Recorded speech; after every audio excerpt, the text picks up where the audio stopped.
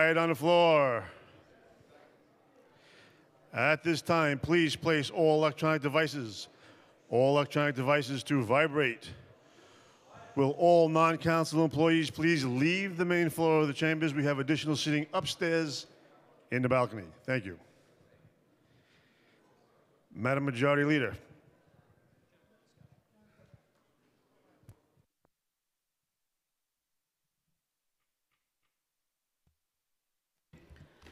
Good afternoon and welcome to the stated meeting of January 23rd, 2020. I am Majority Leader Laurie Cumbo.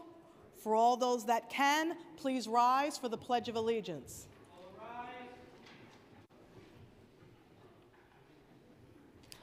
I pledge allegiance to the flag of the United States of America and to the republic for which it stands, one nation, under God, indivisible, with liberty and justice for all. Roll call. Adams. Very present. Ampry Samuel. Present. Ayala. Barron. Present. Borelli. Brannan. Here. Cabrera. Here.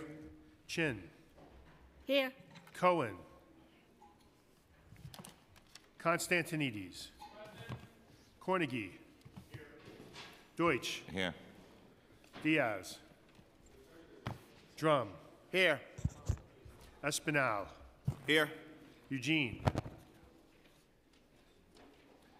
Gibson. Gjonaj. Grodenchik. Ayala.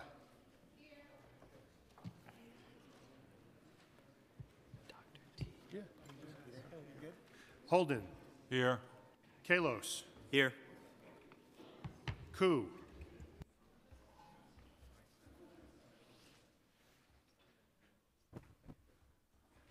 Cohen. Koo. Present. Koslowitz. Lancman. Lander. Levin. Here. Levine. Here. Regina, let me, um, put Helen on. Louis. Here. Maisel. Menchaca. Presente. Miller. It's me. Moya. Present. All right. Listen, maybe the Perkins. computer in my, in my back office should work. The printer back. Powers. Here. Reynoso. Here. Richards. Present. no, just eight by eleven. Rivera. Present. Yeah, just eight by eleven. Rodriguez. The, the letters on it, that's all, Rose. okay? Rosenthal. Enough, maybe, you know, Here. eight by eleven, the, Salamanca. twenty, Torres. okay, great. Treyger. Here. Ulrich. Present. Vallone. Here. Van Bramer. Here. Yeger. Here. Matteo. Cumbo. Present. Speaker Johnson.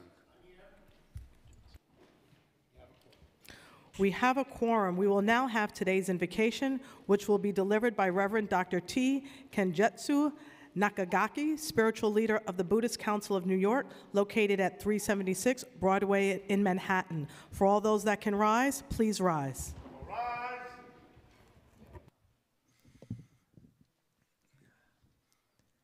So first, uh, please stand with both your feet steady. Uh, let me uh, the meditation. Relax your body. Close your eyes lightly. Breathe out, and then slowly breathe in.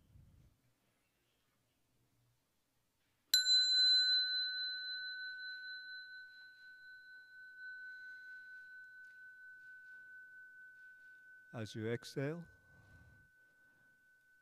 let go of your worries, fears, anger, and greed.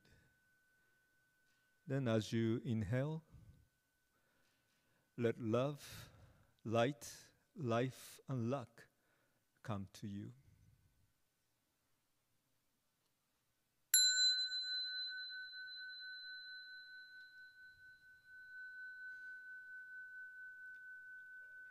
As we celebrate the Lunar New Year this weekend, let us remember that we must keep our mind and spirit wholesome and fresh always. When our mind is good, our words and actions will become good. This is the year 2020, which is 2020 peace circle, peace circle.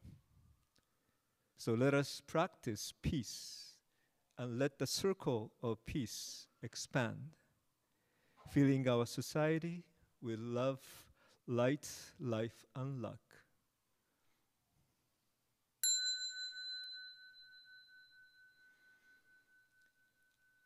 As a Hiroshima Peace Ambassador and Nagasaki Peace Correspondent, I would like to remind you that this year marks the 75th anniversary of Hiroshima and Nagasaki bombings, which were the result of inhumane weapons of mass destruction created here in New York City during the Manhattan Project.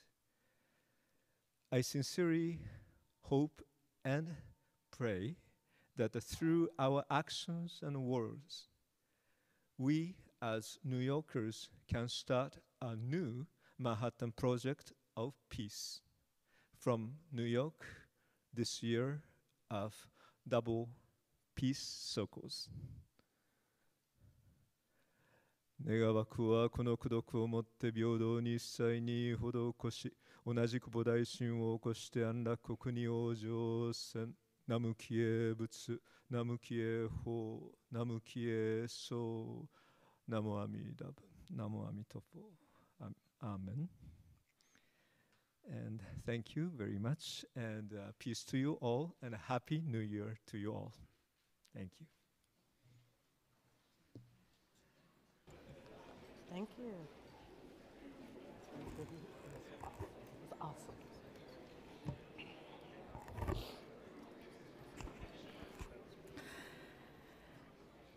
Thank you so much, Dr. Nakagaki. We appreciate your message of peace.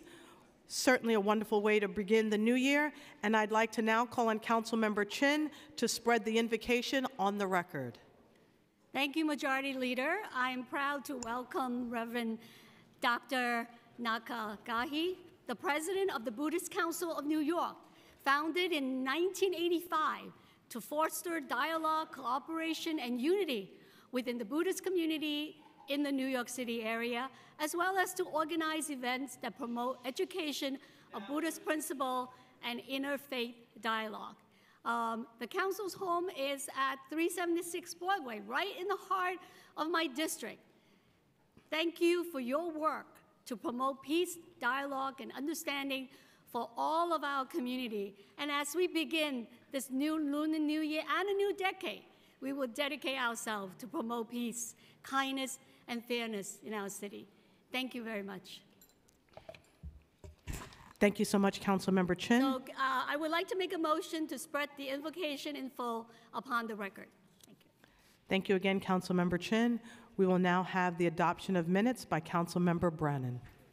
Uh, I'd like to make a motion that the minutes of the stated meeting of December 10th, 2019 be adopted as printed. Messages and papers from the mayor. excuse me, M205, City Debt and Reserves. Communication from city, county, and borough offices.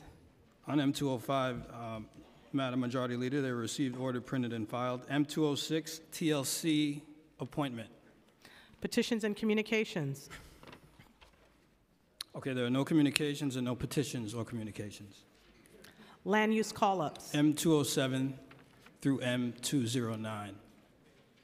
Coupled on a call-up vote, and at this time, I'm asking for a roll call vote, and all of the items uh, on today's land use calendar. This is just on the land use call-up calendar.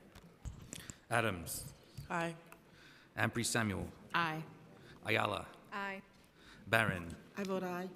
Borelli. Aye. Brannan. Aye. Cabrera. Aye. Chin. Aye. Cohen. Aye. Constantinides. Cornegy. Deutsch. Diaz. Dromm. Aye. Espinal. Eugene. Gibson. Gjonaj. Grodenchik. Holden. Aye. Kallos. Aye. King. Koo. Aye. Koslowitz. Lancman. Lander. Levin. Levine. Aye. Louis. Aye. Maisel. Menchaca. Aye. Miller. Aye. Moya. Perkins. Powers. Aye. Reynoso. Richards. Aye. Rivera. Aye. Rodriguez. Rose. Rosenthal. Salamanca. Torres. Treyger. Aye. Ulrich. I'd like to vote yes on all land use call-ups, and with your permission, uh, I'd ask for unanimous consent to vote yes on all coupled uh, general orders and items on the calendar. I vote aye.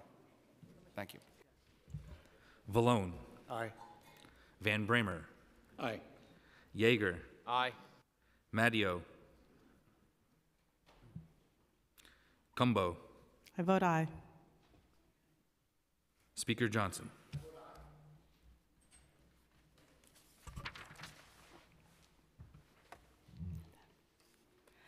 Today's land use call-ups are adopted by a vote of 45 in the affirmative and zero negative. We will now have communication from Speaker Corey Johnson.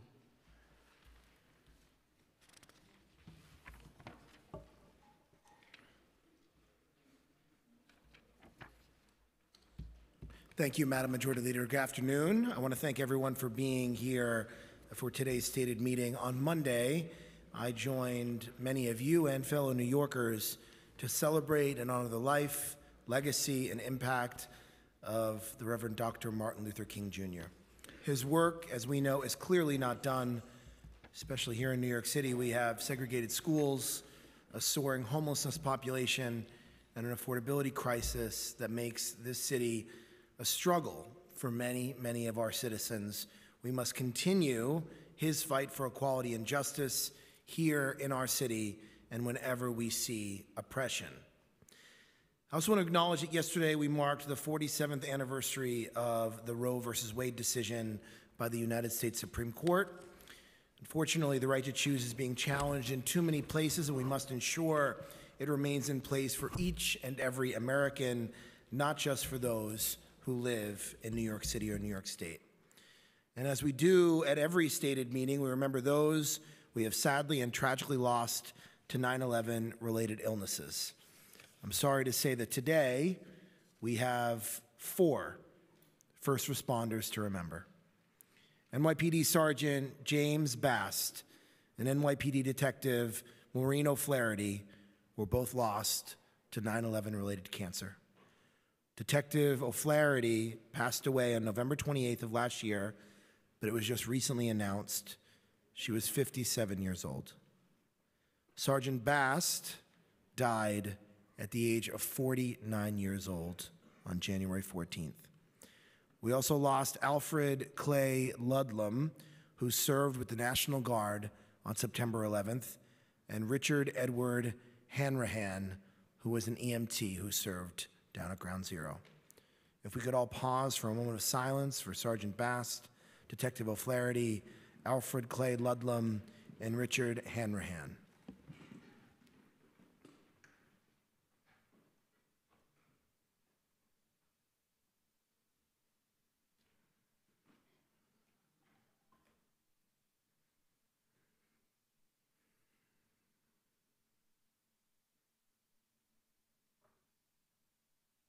Thank you.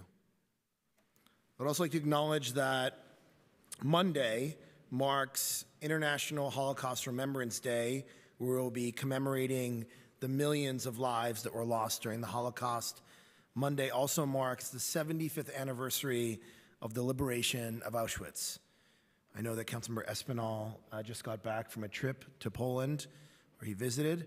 We mark these occasions knowing that anti Semitism is a cancer that is infecting many countries around the world, including the United States, and sadly, even here in New York City, we have seen the cancer of anti Semitism that has been spreading.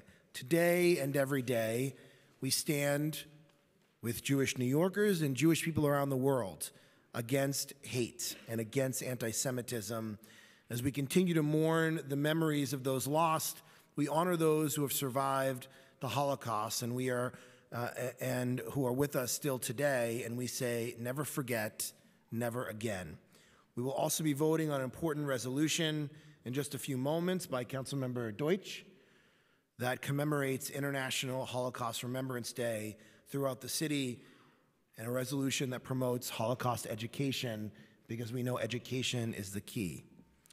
The council is also sadly losing a member of our Administrative Services Division. Cheryl King Lawson, who we love, is retiring after a long career here. We are so grateful for her service. And is she here? Is she standing? Is she with us? Is she with us today?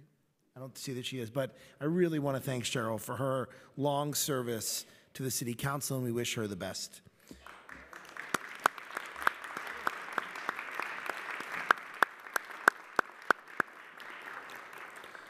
I also want to congratulate two special New Yorkers who were named in this year's class of Baseball Hall of Famers Derek Jeter and Marvin Miller.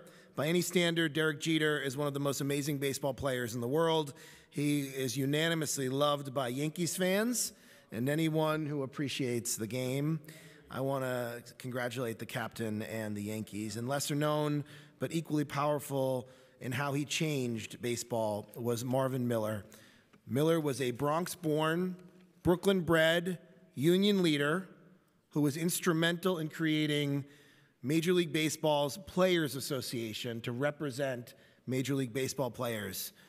He gave players a sense of dignity and reminded them they were not there for the sport. They were people who had rights and needed protection as well. He will be honored posthumously in July with Derek Jeter. New York is a union town and a baseball town, and we're so proud of both of these men and New Yorkers. Before we dive into our legislative agenda, I want to just put on the record and say a big thank you to Andy Byford, the president of New York City Transit, for everything he has done for our city. It may be one of the toughest jobs in the world, running the subways and buses, and he did an outstanding, outstanding, outstanding job.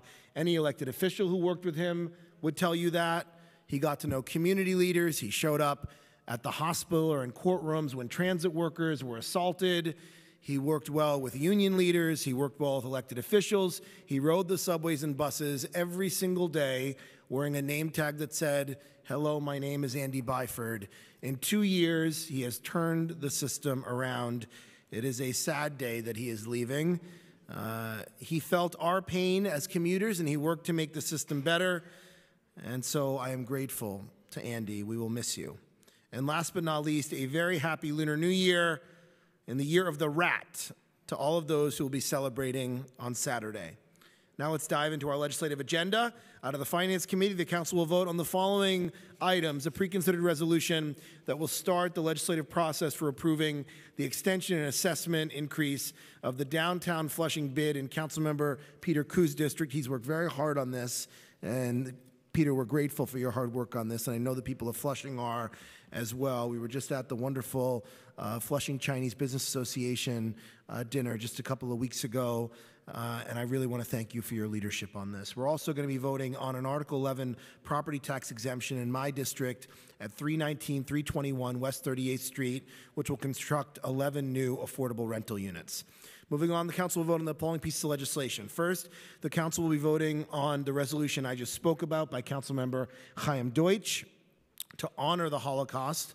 To combat hate, we need to educate. This resolution is a step in that direction and so important right now as we deal with this alarming spate and crisis of anti Semitic cancer that has spread in our city. Uh, Pre-considered resolution 1225 sponsored by Councilmember Deutsch, will recognize January 27, 2020 as Holocaust Remembrance Day and the week beginning on January 27, 2020 as a citywide week of Holocaust education. I want to thank the staff who worked on this, Balqees Mihirig, Leah Skrzypiec, and Kevin Kotowski. Now, next we have a piece uh, from the Civil Service and uh, Labor Committee, and this is by our chair, Chair Daneek Miller, Introduction 1785, a very important piece of legislation. I want to congratulate you, Daneek, on this really important bill, which will extend health insurance coverage benefits to surviving family members of deceased municipal employees who died as a natural and proximate result of an accident or inju- inju- injury sustained while performing duties for the city or who died because of a condition related to the attack on 9 11. I want to thank the staff who worked on this Nuzhat Chowdhury, Kevin Kotowski, and Kendall Stevenson. Next, the council will vote on a government operations piece of legislation by our government operations chair, Fernando Cabrera, Introduction 991, which will authorize the Office of Administrative Trials and Hearings to dismiss a violation enforced by the New York City Taxi and Limousine Commission pertaining to a defective vehicle light or lights oath may dismiss the violation as long as the driver or owner has fixed the light no later than one day after being issued a violation and provided proof of correction, such as a statement of correction issued by a state inspection authority or auto repair shop, along with the TLC summonses to the TLC. And I want to thank the staff, Daniel Collins, Elizabeth Kronk, and Emily Forgione. The council will also vote on a bill to protect consumers who may want to pay in cash. Increasingly, retail and food stores have refused to accept cash and allow for only credit or debit transactions. This practice punishes the underbanked. We don't live in a one size fits all city. Our economy needs to be open to all New Yorkers. Introduction number 1281, sponsored by Councilman Richie Torres, who has worked very hard on this for the last year would prohibit food and retail establishments from refusing to accept cash from consumers. This bill would also prohibit establishments from charging cash paying consumers a higher price than those using a credit or debit card. And I want to thank the staff, Balqees Mihirig and Leah Skrzypiec, for their work on this. Next, the council will vote on a bill to address the lack of affordable, diverse retail space and prevalence of storefront vacancies in the city the rise in commercial rents and the increased presence of large chain stores is felt most acutely by our city's small businesses and the retail crisis we see in empty storefronts across New York City. To understand the problem of vacancies and challenges faced by mom and pops, the council passed a series of local laws last year to gather data on the city's commercial retail environment. We will continue to work on legislation to address small business concerns. And we have introduction number 1408B, sponsored by Councilman Rafael Espinal, which will require the city to conduct a neighborhood retail needs assessment for sizable development projects that receive significant financial assistance from the city. Where a need is determined, commercial space could be offered at below market rent to small businesses that meet such needs for goods and services in the neighborhood. And I want to thank the staff who worked on this Stephanie Jones and Noah Meixler. Finally, the Council will be voting on a package of legislation that aims to close loopholes in our city's lead laws. Sadly, the days of lead poisoning are not over in New York, and it should be because lead poisoning is entirely preventable. Although New York City banned the use of lead paint in 1960, we are still seeing cases of New Yorkers who are impacted by the effects of lead in buildings. This is especially true of children who are most at risk of problems associated with lead. In 2018, nearly 4,000 children, 4,000 children were flagged for elevated, blood lead levels. That is unacceptable. That is why the council took immediate action last March to pass 10 pieces of lead related legislation designed to strengthen the city's local law 1 of 2004 by our colleague who has always been a leader on this, Councilmember Bill Perkins, who deserves an enormous amount of credit for his leadership. It's also known as the Childhood Lead Poisoning Prevention Act. There is no safe lead level, and the following laws we hope keep pace with the most up to date practices and standards to better protect New York families, especially children. The first bill, introduction number 420B, sponsored by Councilmember Costa Constantinides, will focus on the issue of lead in our parks throughout New York City. This bill would require the Parks Department to test for lead concentration levels in areas of parks under DPR jurisdiction that contain exposed soil and are used for active play or passive recreation whenever a capital project occurs in such area. If the test finds that a bare soil area has a lead level at or above the level set forth in Title 40 of the Code of Federal Regulations, DPR must cover, replace, or otherwise remediate the area. I want to thank Christopher Sartori for his work on that bill. The second bill, introduction number 904A, sponsored by Councilmember Carlina Rivera, targets the issue of lead in pregnant persons. For pregnant persons who test positive for an elevated blood lead level, the Department of Health and Mental Hygiene would be required to conduct an investigation to identify the potential sources of their elevated blood lead level. The bill would require the agency to monitor the child after birth for elevated blood lead levels and to proactively assess whether the apartment where the child resides contains any lead paint hazards or unsafe lead paint conditions. DOHMH would also be required to conduct outreach to new and expecting parents regarding the availability of inspections for peeling paint or deteriorated subsurface or underlying defects in their apartment and to provide them with information about blood lead testing for children, unsafe construction or renovation work practices, and the availability of inspections for such practices.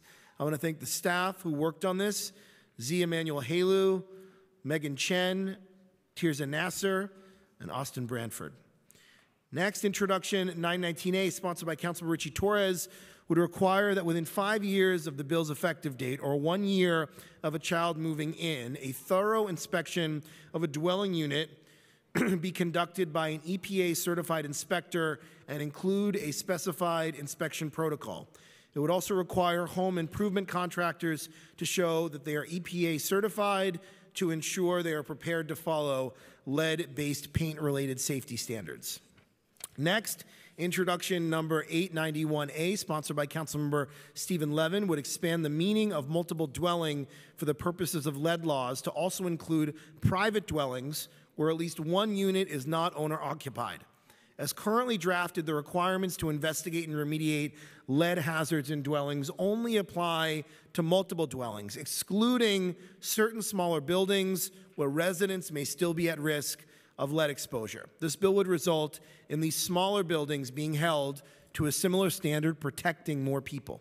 And finally, introduction number 873A, sponsored by Councilmember Margaret Chin, would require schools under the Department of Education jurisdiction to conduct regular surveys and inspections of certain spaces for lead paint of lead-based paint hazards, the results of which would be made publicly available and delivered to parents and guardians. The bill would also require HPD, when conducting certain inspections, to determine whether there has been a violation of the requirement to remediate lead hazards when a unit turns over. Further, it would establish a presumption that a building owner who is unable to provide a record of having remediated lead hazards at turnover has violated the requirement to do so. I just want to reiterate for the council members here and for anyone who may be watching the, the, the staff at the city council is the best staff. We have the smartest lawyers and policy analysts, and Tirza and Austin and Zay and Megan and uh, Jeff and Laura and everyone who worked on these bills have been working on these bills for longer than two years. We did a package a year ago. We're doing a package now. They're working on another package. They have been relentless in trying to protect the most number of children possible in New York City by pushing the envelope on these bills. And the, the staff that has worked on this, I want it, they don't know the number of kids that they've protected through their incredible hard work. And I want to give the staff here a round of applause for their work on this lead paint package that they've done, the second package of work in helping children across New York City. I want to thank all of them. And with that, Madam Majority Leader, I turn it back to you. Thank you, Speaker Corey Johnson. We'll now move into discussion of general orders. As no members have signed up, seeing none, report of special committees, None.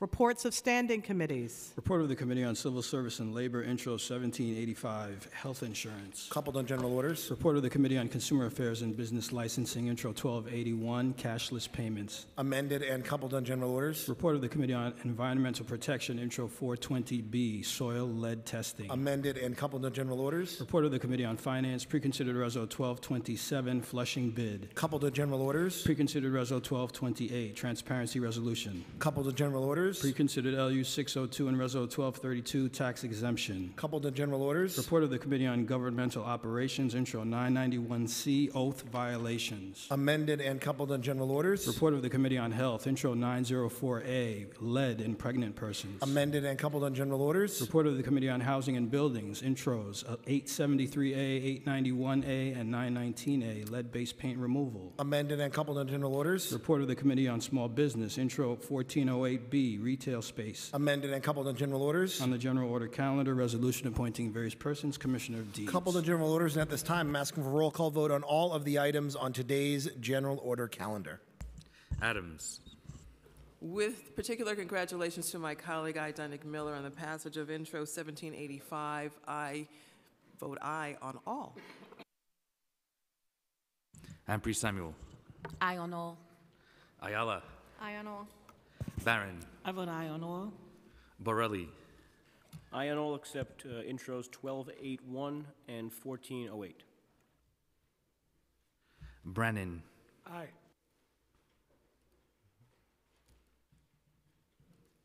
Cabrera. Permission to explain my vote? Permission granted. I'll make it really, really short, but I want us to uh, remember our uh, fellow Puerto Ricans. I was just, I just got back from Puerto Rico last week, uh, especially in Guánica and uh, the surrounding towns. Uh, The areas were devastated. They're still in need of help, but especially mental health, chaplains, and the sort. So let's please remember them and appreciate everyone who supported my bill, uh, 0991, uh, to help our taxi drivers. And uh, congratulations to all my colleagues. Thank you so much. Thank you.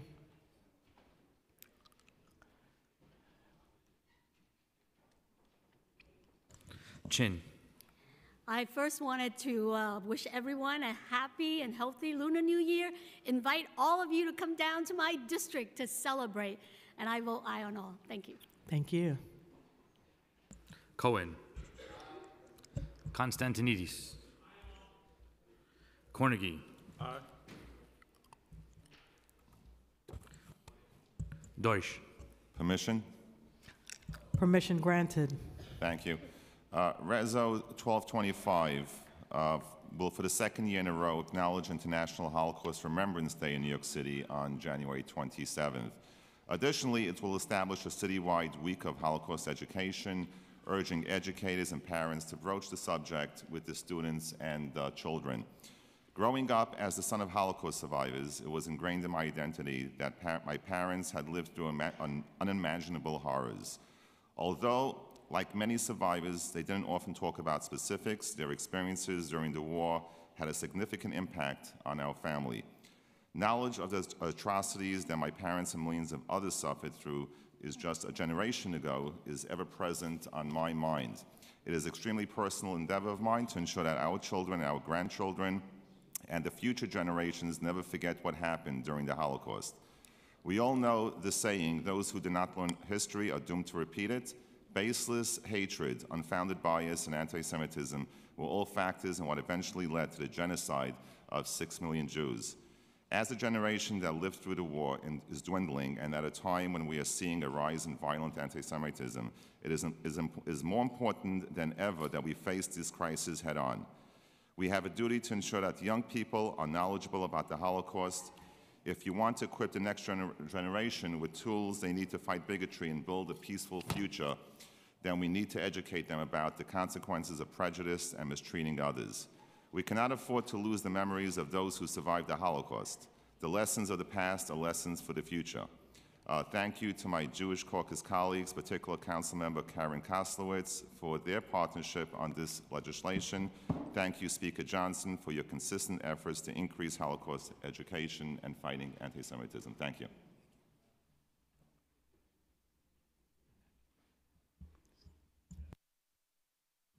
How do you vote, council member?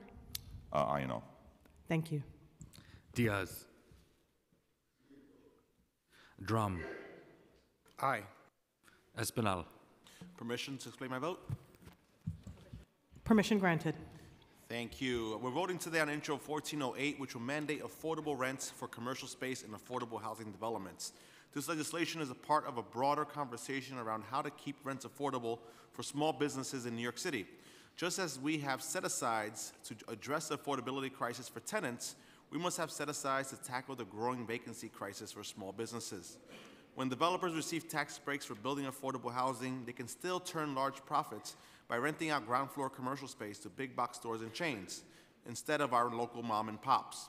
While a neighborhood may gain more affordable units, the commercial spaces in these new developments can still lead to secondary displacement because of the strain they create on local businesses. Affordable housing developers have to take a holistic approach to what their footprint in the neighborhood is going to be. These developments give opportunities for low and middle, middle income residents to stay put in their communities and should be offering the same stability to small businesses. In order to protect the integrity of our city, we have an obligation to protect all of those who contribute to its, to its rich cultural landscape. Uh, with that said, uh, I vote aye. Eugene. Thank you. Eugene. I vote aye. Gibson. I vote aye on all. Gjonaj. Pass. Grodenchik. I vote aye on all, and I want to thank uh, my colleague and the chair of the Jewish caucus, Chaim Deutsch, for his words today. Um, he is the son of survivors. Uh, regrettably, in my family, there were none, except for the people who lived already here in the United States. Um, so we remember um, the Holocaust. May the memory of the six million always be for a blessing. With that, I vote aye on all. Thank you. Holden. Aye on all. Kallos. Aye and all. King. Ku. I don't know, and I also want to wish everyone a happy Lunar New Year. Uh, if you have time, uh, you can come to join our parade this Saturday at 11 a.m. on Union Street, Flushing, of Union and 37th Avenue. Thank you. Thank you. Koslowitz. Aye. Lancman. Lander. Levin. Permission to explain my vote. Permission granted. Um, I want to thank uh, Speaker Johnson uh, and my colleagues and uh, all staff on uh, the, the lead legislation uh, that we're passing today. Um, I want to acknowledge Councilmember Bill Perkins for, uh, for sponsoring the bill in 2004, um, which really demonstrated that thoughtful and aggressive city legislation out of this body can have a real impact. Um, if you look at the data, um, the key inflection point over the last 25 years was, in fact, that legislation in 2004, which changed how this city addresses lead poisoning. Um, in fact, it, it followed on a, on a prior legislation from only five years earlier, um, but, but really um, um, changed the paradigm. Um, and uh, what we're doing today is building on that because, as the speaker said, lead poisoning is entirely preventable. There's not a single, there's no reason whatsoever why a child should have lead exposure. Lead's been banned in this city uh, for 60 years um, and has been banned nationally for, for close to 40 years, or over 40 years.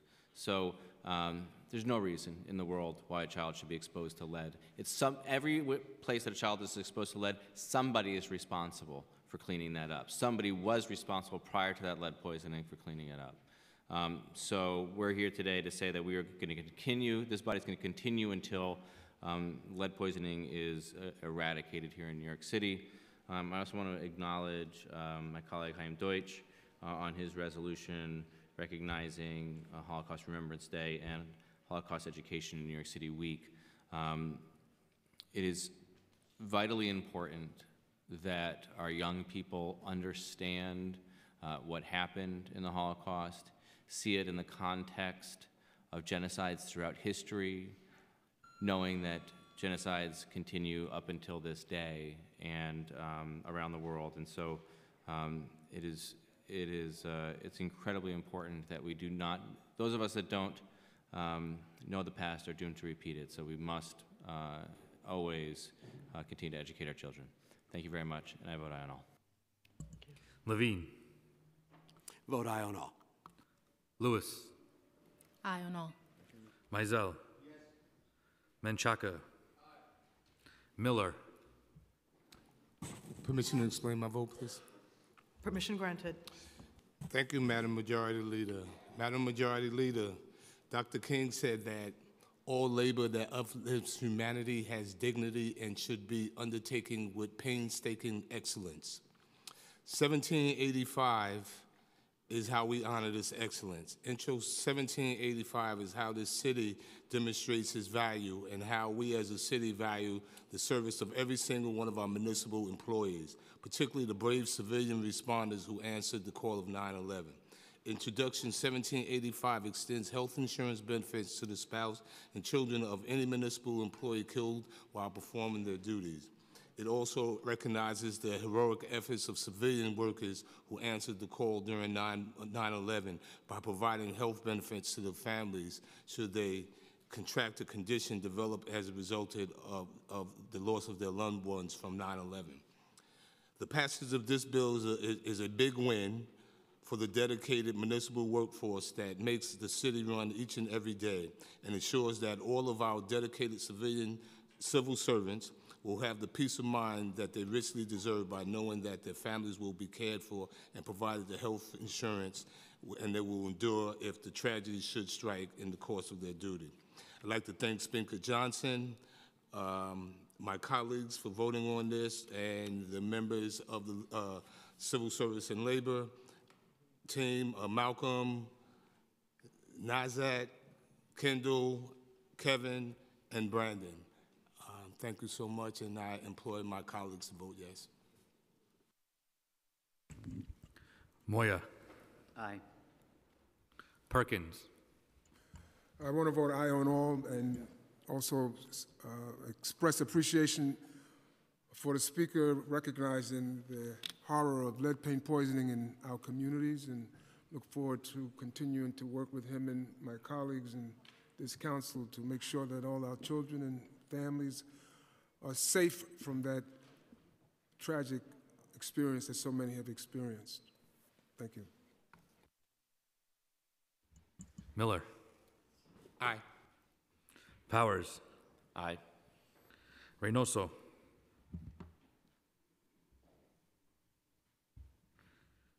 Richards. Aye. Rivera. Permission to explain my vote? Permission granted. Just want to thank um, everyone for their support as we are approving and voting on these next set of lead bills. It's shocking that in 2020, children and families in New York City are still being exposed to poisonous levels of lead. But this council has taken real leadership to combat this failure with passing bill after bill, and I'm so thankful to the speaker, to the staff here, especially uh, Zay, to Jason Goldman, to my legislative director, uh, Jeremy Unger. And as co-chair of the Women's Caucus, I'm proud that we're voting on this bill that will ensure that the city conducts thorough investigations when pregnant mothers test positive. I am looking forward to a lead-free NYC. And congratulations to all my colleagues with bills in this package as well, and, and to the many others that will be passing today. Uh, thank you so much. I vote aye on all. Thank you. Rodriguez. I will get back.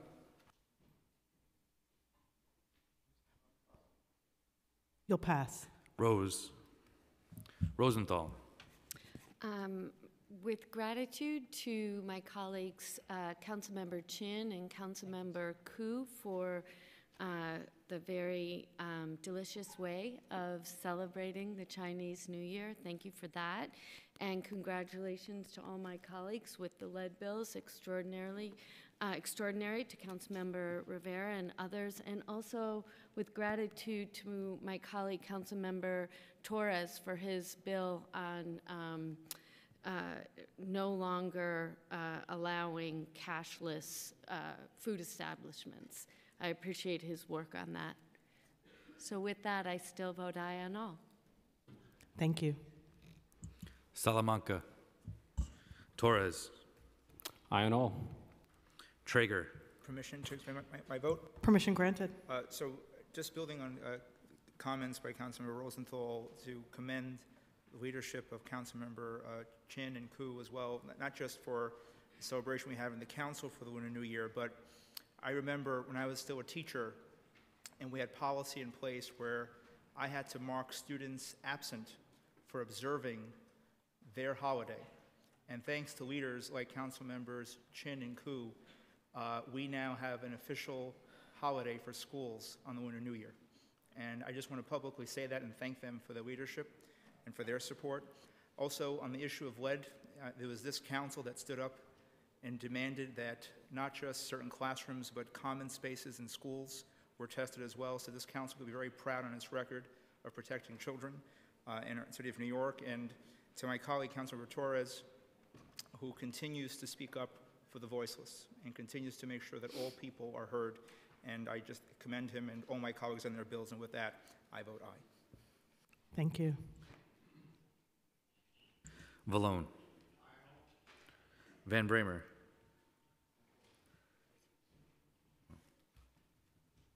Yeger.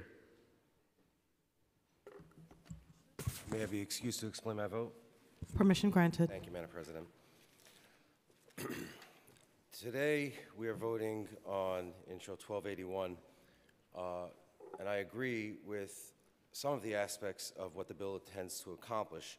I don't think any store anywhere in the United States should refuse to accept American currency. But I also don't think that it's our job to tell businesses in this city how to run.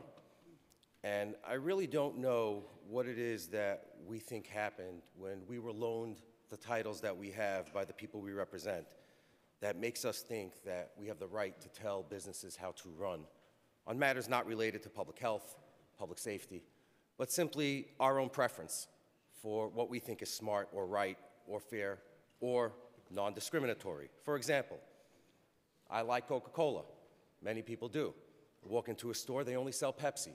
Are we going to rely, are we going to require that they now carry Coke? Walk into a restaurant, they don't have butter on the table. Am I going to require that they do? Or what if they only have butter on the table? Are we going to make sure that we take care of those who can't take lactose and have margarine instead? We're inserting ourselves into the business of business in a way that we don't have the right to do, in my opinion, although obviously, based on the vote tally, there are a number of people here who believe otherwise. But I also want to, in the last couple of seconds that I have, point out that the first penalty imposed on a business that fails to comply with this law is no more than $1,000. The second penalty and thereafter is $1,500. So, as we know, City of New York never weaponizes our statutes. They surely will never take one of our statutes and walk around the city looking for businesses that aren't complying so that they could slam them with a $1,000 ticket just for walking in the door. And I look forward to 10 months from now, one month after the nine months, when we start getting the calls from the businesses that are getting slammed with these summonses. With that, Madam President, I vote aye on all, with the exception of Intro 1281. Thank you. Van Bramer. Aye on all. Matteo. Uh, no one 1408, no one 1281, and permission to vote yes on all land use call-ups. Thank you. Permission granted. Gjonaj. Permission to explain my vote? Permission granted. First, I want to con- congratulate council members Chin and Ku and wishing all a happy uh, Lunar New Year. I also remind all of my colleagues that we must keep the people of Puerto Rico in our hearts and prayers. They're still recovering from the hurricane um, and now to be faced with a second natural disaster. Um, the people of Puerto Rico um, need our help and our assistance, and I hope that we will rise to the occasion again by opening up our doors for those that are seeking relief uh, here in the, the city of New York. Um, I want to congratulate uh, Councilmember Chaim Deutsch on um, the remembrance of the Holocaust. Uh, We need to be reminded of this, uh, never allow it to happen again. So to the Jewish community, um, we will always remember the tragedies and the atrocities that were committed against you. As we move forward to a lead-free uh, New York City, I'm pleased to see that we have not excluded NYCHA from this requirement. NYCHA is the single largest landlord, and we have more children that are being poisoned by lead paint in NYCHA facilities than any other properties out there. So I'm not only pleased to see that they're included and going to be held to the same standard and accountability as we protect all of our children, but most importantly, the most vulnerable, and those are the residents of NYCHA facilities. I echo some of the concerns of 20 1281A, and not that the intentions are not good, but the penalty that these small businesses are always subject to for not complying with rules they may not be aware of. And I caution my colleagues in trying to do good, to trying to do good, that we often find ourselves punishing and penalizing the very groups that we're looking to protect, and that's our small businesses. So I do support 1281 and the intentions. I just remind all of the penalties associated, and we should further give warning before we give punishment of fines. So I vote all on aye. Rodriguez. Permission to explain my vote? Permission granted. First of all, thank you, Councilmember Bill Perkin, for being the pioneer on what we are standing today, the removal of lead paint. I remember being an activist, not a council member, and being here at the step, facing a lot of opposition from real estate, having the lawyer, the Northern Manhattan Improvement Corporation that worked with you and the council at that time to draft a bill to remove lead paint from residential building. Now we are extending what you started, and I feel that we have a big responsibility to also make NYCHA accountable for the removal of the lead paint to be done by professionals. To be done by professionals. We did it when we include the law that may HPD, may, may everyone who do removal or lead paint from residential being done by professional. But we didn't use the same language on the NYCHA part.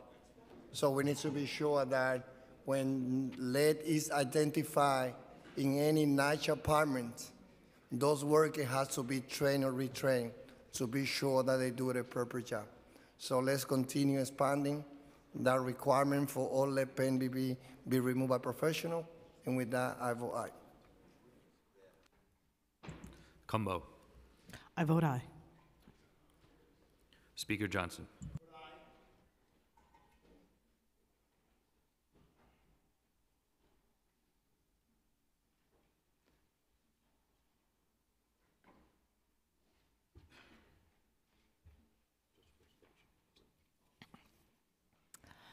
Thank you. All items on today's general order calendar are adopted by a vote of 46 in the affirmative, zero negative, and zero abstentions, with the exception of Intro 1281A, which was adopted by a vote of 43 in the affirmative, three negative, and zero abstentions, and Intro 1408B, which was adopted by a vote of 44 in the affirmative, two negative, and zero abstentions. The revised land use call-ups vote is 46 in the affirmative and zero negative.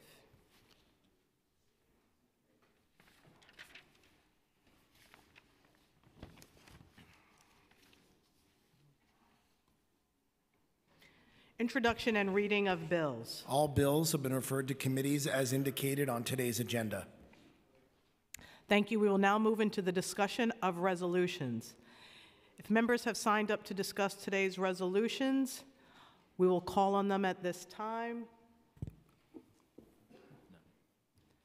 Members have yielded their time for the resolutions, and now I will go right into reading today's resolution into the record.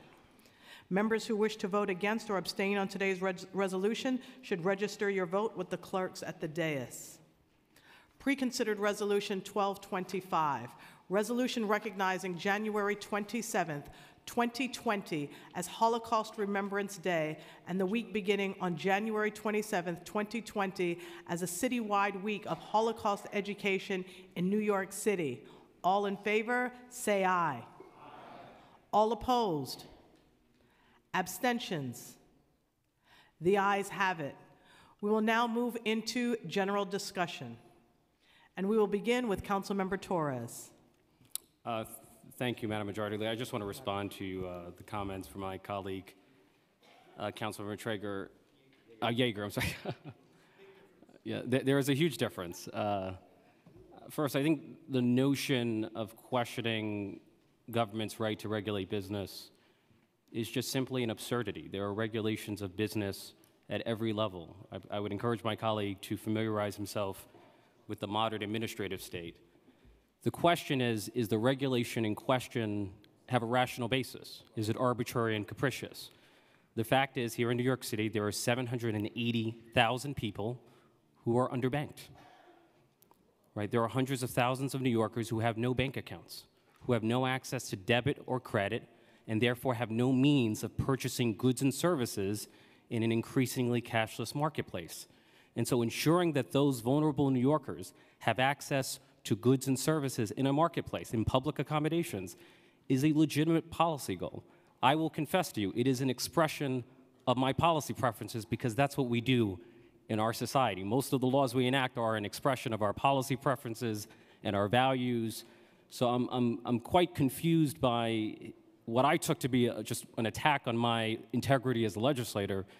This was a good faith attempt to ensure that more people have access to goods and services. And this bill was carefully crafted. If there were businesses that have grown accustomed to a cashless business model, we allow those businesses the option of installing a, a cash conversion machine so that they can continue to retain the efficiency benefits that come with a cashless business model.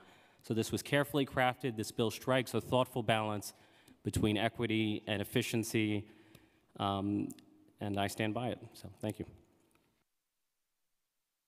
Thank you, Councilmember Torres. We'll go to Councilmember Ku.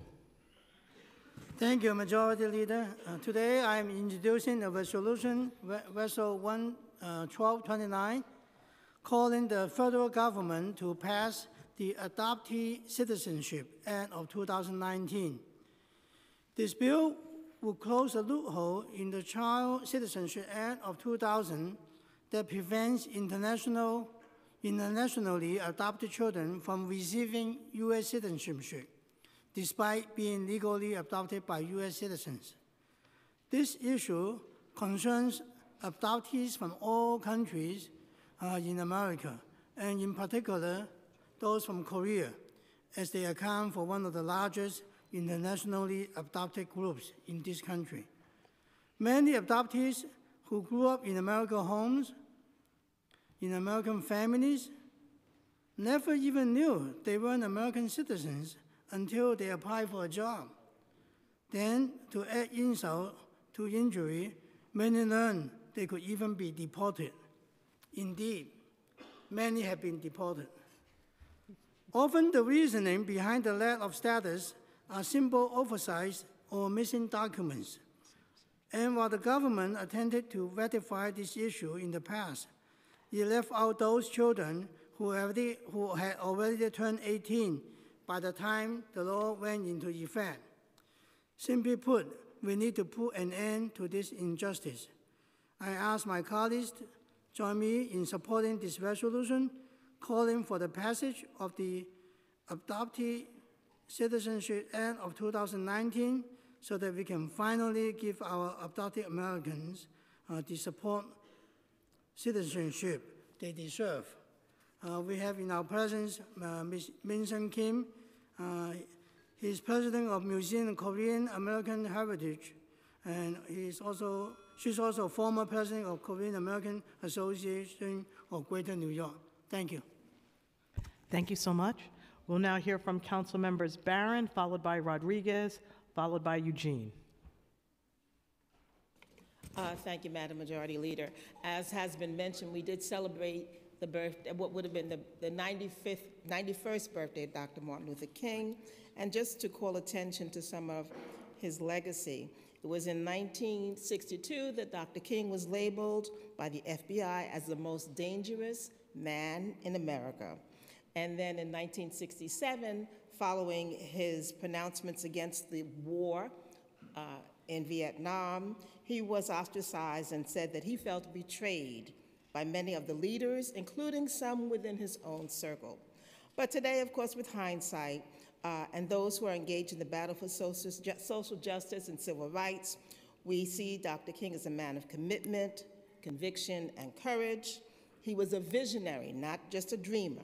He was a visionary who thought of matters beyond the immediacy of his own initial advocacy and dared to venture beyond the local and national injustices to this day and to speak out against the evil tentacles of militarism that perpetrated uh, that are perpetrated by the United States and claim the lives of innocent people in foreign lands.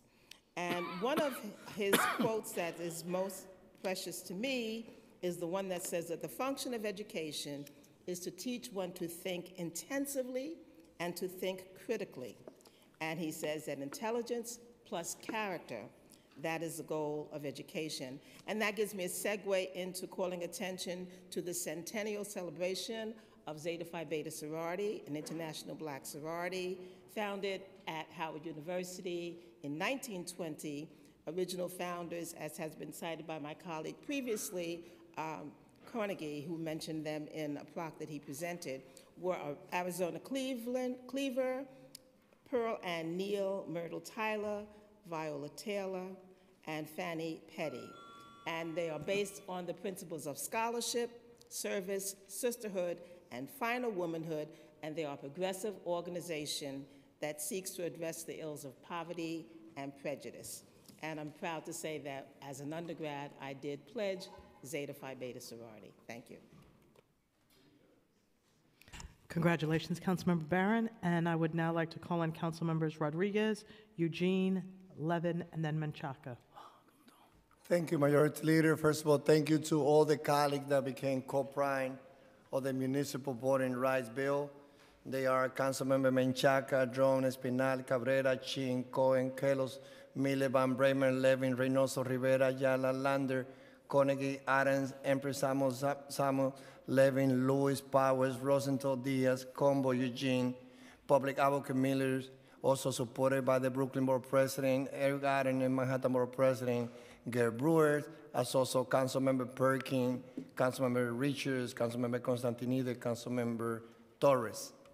The U.S. The, when we look at the according to the U.S. Code Title 18, it says Section 61, Section 611 say voting by aliens, non-citizens are authorized to vote in local election if allowed by state. However, non-citizens are barred from voting in the following office: presidents, vice presidents,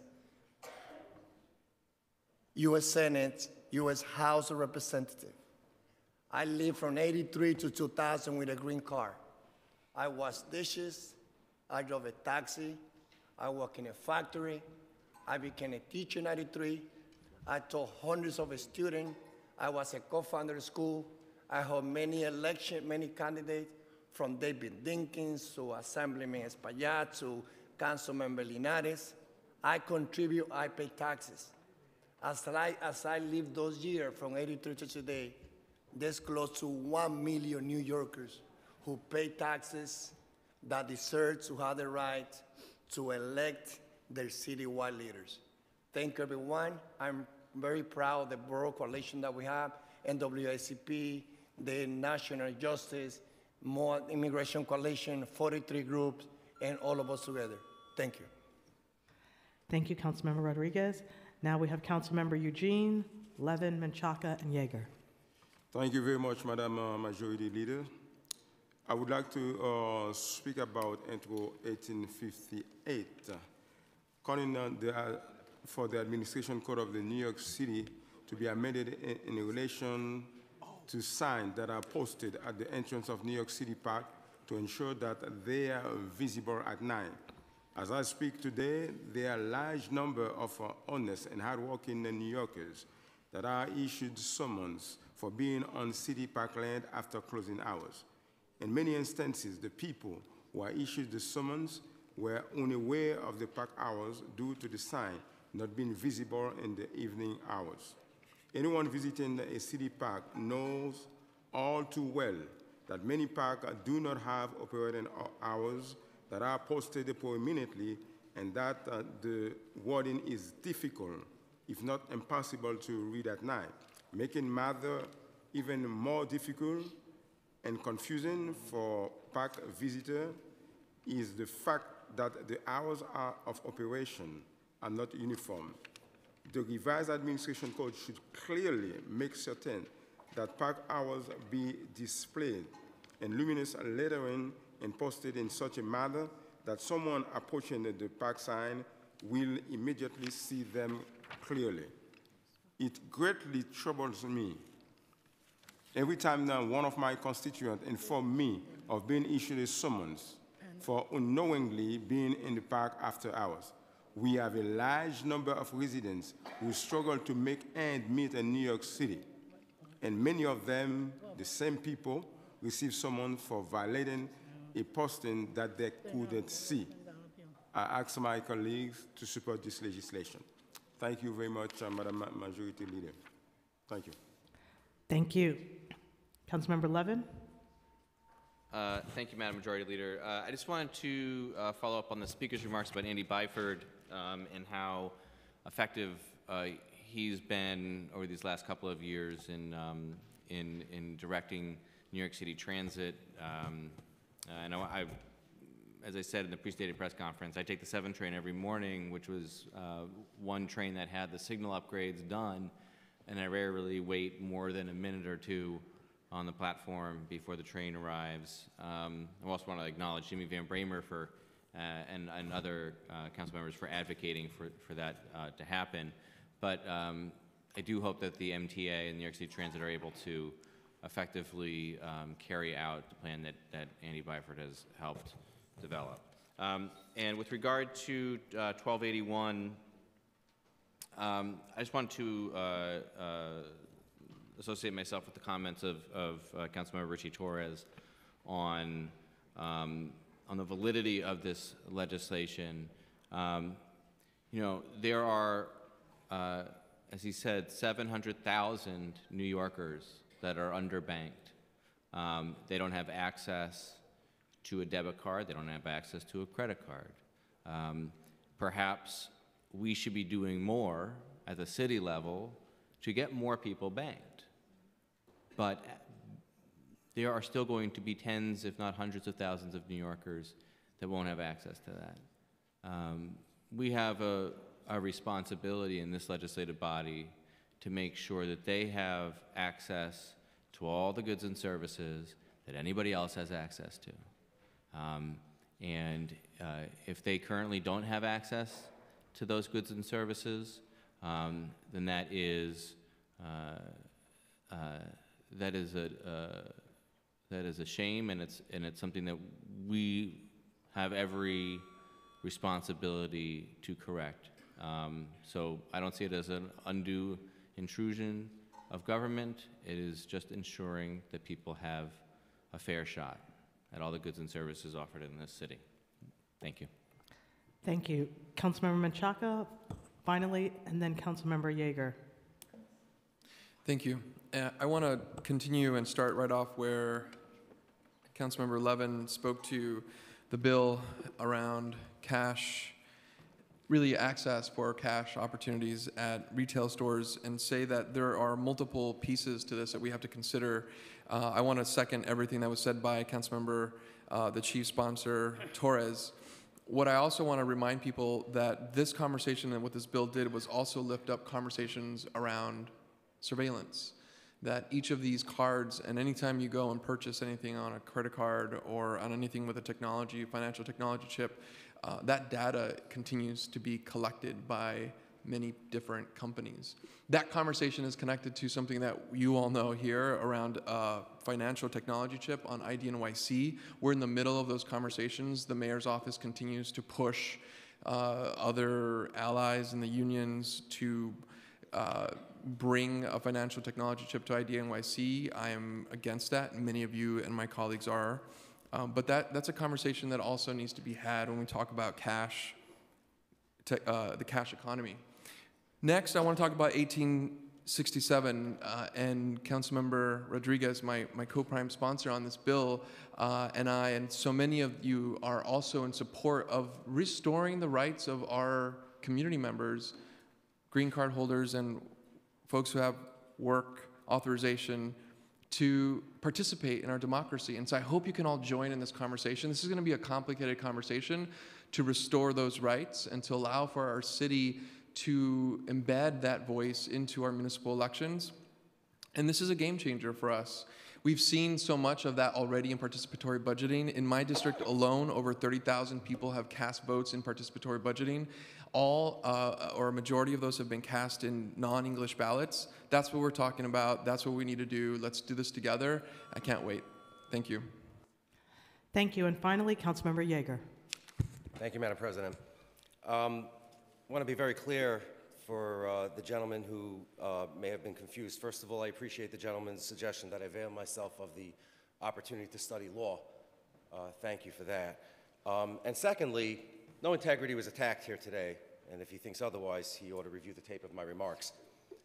We are imposing a penalty on businesses that fail to comply of up to $1,000 a summons on the first go around. The first time they get smacked with a summons, it's going to be up to $1,000. I think we all know that up to means 1,000 because that's the way the city does it. So they're going to look for a new revenue stream, they're going to find it, and it's going to be in the pockets of the small businesses that are making business decisions right now that they choose to accept credit cards and not cash. Are there legitimate reasons for why businesses make that choice? Sure.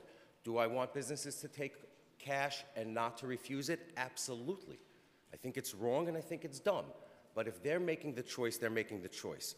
I'm not assuming that we never regulate business, but as I said before, there's a good population of the United States, of the world, that is lactose intolerant. Should every restaurant that offers butter on the table now be forced to put margarine next to it? Is that a requirement so that we are not discriminating against those who can't tolerate lactose? Where does it stop? At what point do we say this is that important? Okay, that's where it stops. We're not going any further. It's just on the cash. Should we be changing the tablecloths in restaurants from color to only white so as to not discriminate against those who are colorblind? At what point do we say we're not going to regulate businesses to the point where we are stepping on their throats, as I believe we're doing today? And that's my point. And thank you very much, Madam President. Thank you. To-